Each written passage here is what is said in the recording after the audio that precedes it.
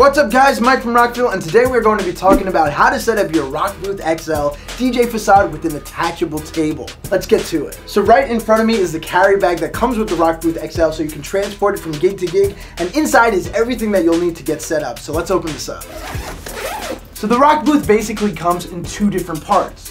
The first part is our attachable table, and the second part is actually the facade portion. So this consists of four metal foldable panels that are connected to each other to create the facade. In addition, we have four locking knobs that actually act as stabilizers once you put the table on the facade. And then we have two color variations for scrims. So you can either put on a white scrim or you can either put on a black scrim. And this just gives you flexibility and options on the ambience and mood that you want to set when you're using the facade. For this setup, I'm gonna use the white scrim. So the first thing we're gonna wanna do when we're setting up our RockBooth XL is take the foldable panels and lay them out on the floor so that we can attach the scrims. So the easiest way to do this is to just pull it out so it's extending and then the Velcro part you want to be facing up. And once you have it all flattened out, you can go ahead and start to place it on the floor. Once you have the RockBooth XL laying on the floor with the Velcro facing up towards the ceiling, you're going to take one of your scrims. So I'm going to start by putting this scrim on this panel over here. So what you're gonna wanna do is line it up long ways, starting with the corners. You're basically going to take the Velcro on the scrim, and you wanna make sure it's super tight and stretched. I'm gonna go right here. So what I'm going to do is take the opposite corner of my scrim. Remember, you really want to stretch it out for a nice tight fit. Line it up, place it, and run it down with your finger. Then I'm going to go back to this corner here, pull on it, line it up, and finally we have the last corner. And just keep running your finger through to make sure the Velcro is getting a nice and tight connection.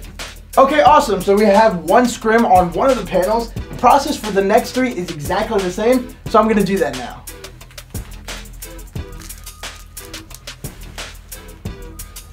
Okay, great. So once we have all of the four scrims on each individual panel, we can go ahead and lift the facade up. Now we're gonna flip it around. Now at this point, you can actually use the facade as is without the table placed on top of it. And the cool thing about that is it allows you to angle the sides out. So if you want more of a shape like this, you can do it and have it like that. You can even go wider or you can come in more so that you're creating more of an angle over here. Now, if you want to place the adjustable table on top, so just make sure that you have a right angle over here between this panel and this panel, as well as this panel and this panel, and then grab your adjustable table. Once you have your adjustable table in hand, you're going to notice that there's actually four latches. One here, one here, one here, and one on the opposite side. So you're going to take the side with the two latches and face it towards the facade like so. Once you have it in this position, there's actually metal bars on the two front panels and you're going to take the latches that are on the adjustable table and just latch them straight onto those bars. And it'll fall right into place. Then what you're going to do is now attach the latches on the sides of the adjustable table to the side panels. And the side panels also have the same bar over here that you're gonna latch straight onto. That's one, and that's two. And now you can see the table is sitting flush on the facade. Now before I showed you these four locking knobs. So you'll notice at four different spots on the adjustable table, there is actually points where you can screw these locking knobs into. So all you do is take one of the locking knobs, screw it right in, then you're going to do the same for the other three. And the cool thing about this is no matter what type of surface you're on, you'll always have that flexibility to even out the table to make sure that your DJ gear or any of your expensive equipment that you're putting on it is not at risk of falling. Now you'll also notice these two holes over here at the side of the attachable table, and these are cable management holes. So when you're running all your DJ equipment on the table, you have these holes where you can actually feed your wires into for a nice, clean, and sleek look. Now I actually put the white scrims on this facade so I could show you a really cool setup that involves some of our battery par 50 lights. So let me go grab those. So I have a couple battery par 50 lights, which are rechargeable battery powered par lights. And what you can do when you have a facade with a white scrim is you can actually use these par lights put them under the facade and illuminate it for a really cool look. So all you're going to do is take one of your par lights, you just want to place the light close to the facade frame so it's sitting almost flush. And basically the way you want to space out your lights is to put one or two lights per panel or whatever you prefer. So I'm going to put this on the side panel, another one for the middle, two more for the middle, and the last one for the last side panel. Then you're gonna wanna turn all your lights on and turn the house lights off.